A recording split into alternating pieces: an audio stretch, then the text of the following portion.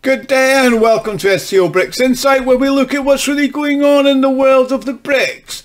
Now this week Rus Russian President Vladimir Putin has announced the extension of the embargo on all food and agricultural related imports from Western countries that was first introduced in 2014.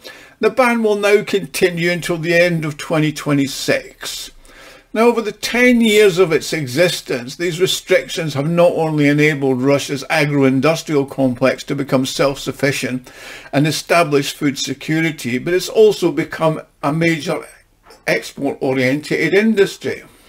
It's also allowed the country to navigate the unprecedented sanctions introduced by the West in 2022 with relative ease. So what was the impact of Russia's food embargo on its economy and the well-being of its people?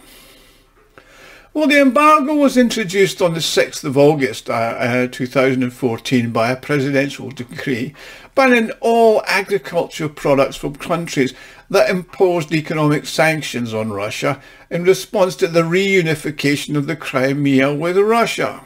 Now, the initial stage of the embargo targeted food products from the EU, the USA, Australia, Canada, Norway, and later Iceland, Liechtenstein, Albania and Montenegro, not that they produce that much, and Ukraine was added to the list. Now, the import ban applied to a wide range of products, including beef, pork, poultry, fish, seafood, cheese, milk, fruits, vegetables and other items on, on, the government list. Now, the full list is subject to regular review, but as far as I know, nothing has actually ever been excluded from the list once it's been on it.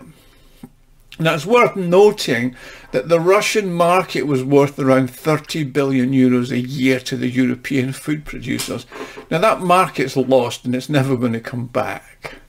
Now before I continue I'd like to make an appeal. If you like and enjoy my videos you can help me fund the channel and my website scobricsinsight.com to further develop it. This can be done by making a small donation which you can do by clicking on the thanks button at the bottom of the video screen. Now everybody who donates does get a personal thank you from me and I'm thanking you all just for watching because I do appreciate every single viewer. Now, there's a consensus among analysts that the food embargo was a key factor in the development of Russia's domestic agro-industrial complex. Now, thanks to generous incentives offered by the Russian government to producers, the import substitution program was initiated. Although initially after the ban there was a shortage of certain foods like French and Italian cheeses, Danish pork, Hungarian salami. Other countries stepped in and we managed to get products that were replaced by the, what was missing from the Europeans. I mean, between 2014 and 2023, the overall growth in agricultural production in Russia grew by over 30%, with particularly notable in food products of 43%. Now, the volumes of grain, crops, fruit, vegetables, livestock, poultry, meat and dairy products have all gone up dramatically. I mean, even the cheese making industry saw a significant growth in consumer demand for product production and local production doubled to over 800,000 tonnes of cheese. And believe it or not, the quality is rather good because mainly because some Italians and French decided to set up in Russia and use their skills to make native cheeses uh, from France in Russia. Now, a number of the foreign varieties like Parmesan and Camembert that were almost import, entirely imported are now being produced domestically for the first time by these Italian, French and uh, expats.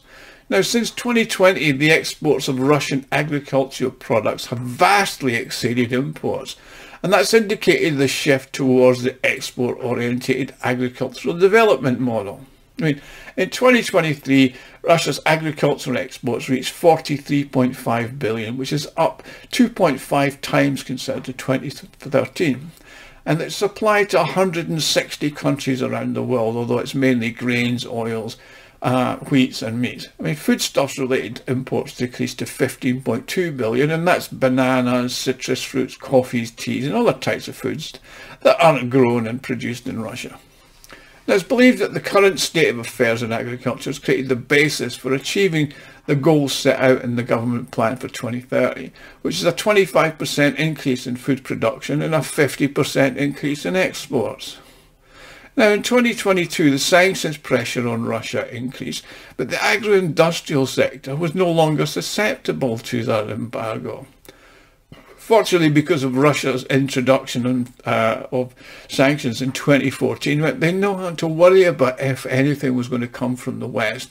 And that, but that could have been a dangerous level of, of pressure.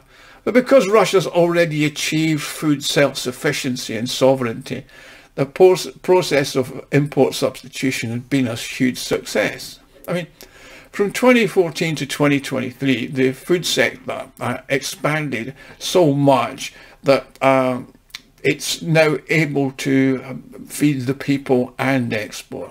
I mean, I mean, Russia's agricultural exports have grown by 2.6 times, as I said, to $43.5 billion compared to 17.1 in 2013.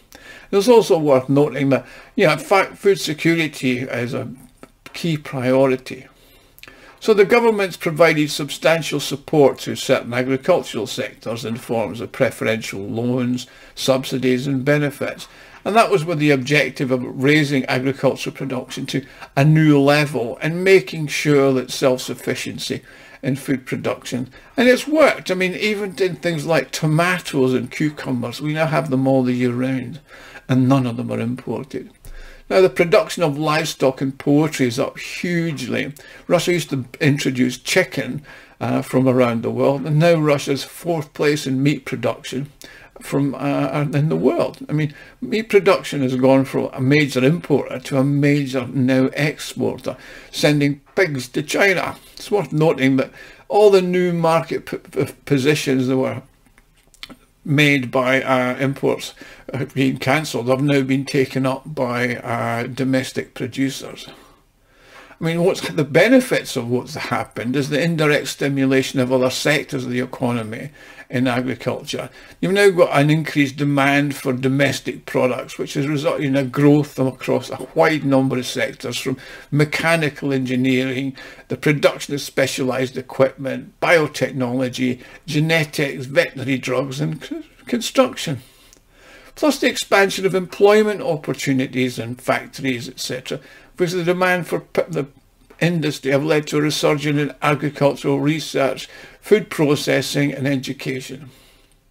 Now, Russia's also begun to actively develop the processing of its agricultural products. I mean, it's been increasing its flour and flour-based production for years, and it's recently expanded its product range to include more deeply processed items, which are wide range of pastas, breads, biscuits and cakes, and a number of its players in the agro-industrial sector have become large international businesses with a calculated return on their investment and serious development projects.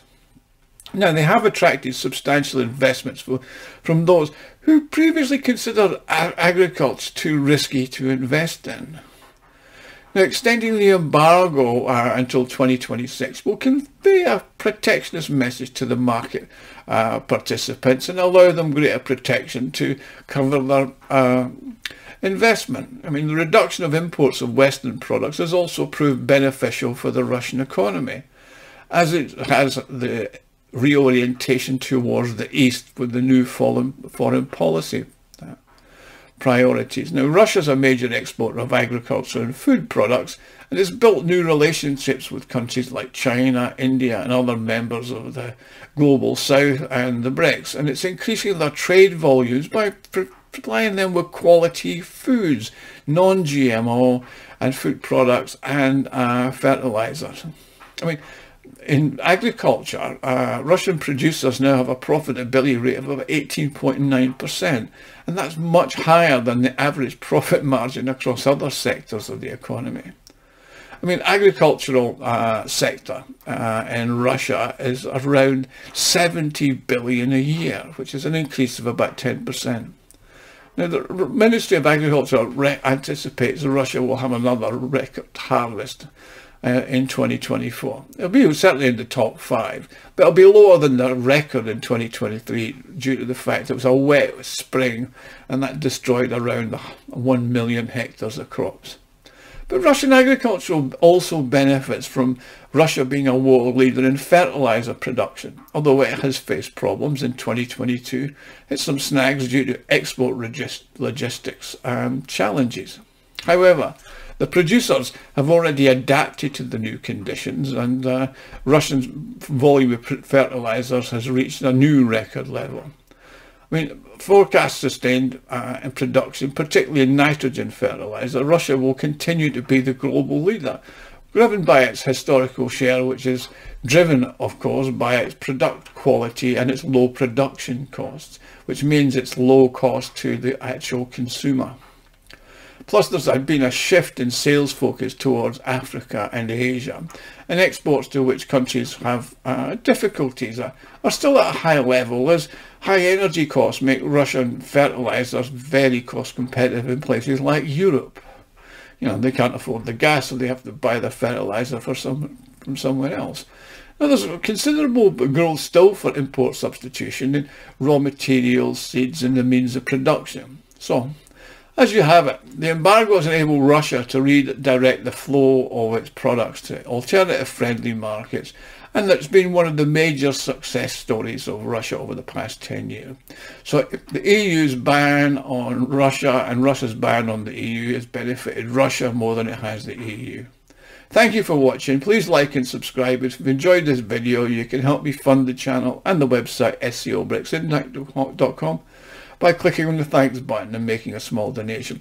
Don't forget to uh, comment. I love getting your comments. I love responding to your comments and I'll see you all again soon. Thank you.